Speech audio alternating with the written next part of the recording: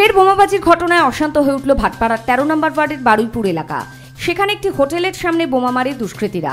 বাসিন্দাদের অভিযোগ পাশে একটা বোম চালিয়ে পালিয়ে গেছে কিন্তু বোঝা যাচ্ছে না কে কারাম মেরেছে। কিন্তু আমরা পুলিশ প্রশাসন আছে সব খবর লাগাচ্ছি কিন্তু যা হবে আমরা ছানবিন করে বার করব ওটাকে। মানে কারা করছে বলা এটা কি কোনো শান্ত মহলা শান্ত করার জন্য কেউ চেষ্টা করছে? কোনো পার্টি তরফ থেকে করা পার্টি এখন তো বোঝা যাচ্ছে না সামনে কিছু আসেনি। আচ্ছা সেই জন্য বলা কিছু ভালো হবে না কে কাজ করেছে। কিন্তু কিন্তু শান্ত এলাকাকে শান্ত করা যাচ্ছে এটা তো ভালো না। কিন্তু আমরা এটা সহ্য করব না পুলিশ প্রশাসন আছে আমরা দেখছি।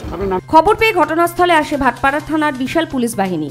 জানা যায় পাশেই এক বিজেপি কর্মীর বাড়ি থাকায় রাজনৈতিক উদ্দেশ্যে দুষ্কৃতীরা বোমা মেরেছে। এই ঘটনায় বেশ আতঙ্ক ছড়িয়েছে বাসিন্দাদের মধ্যে।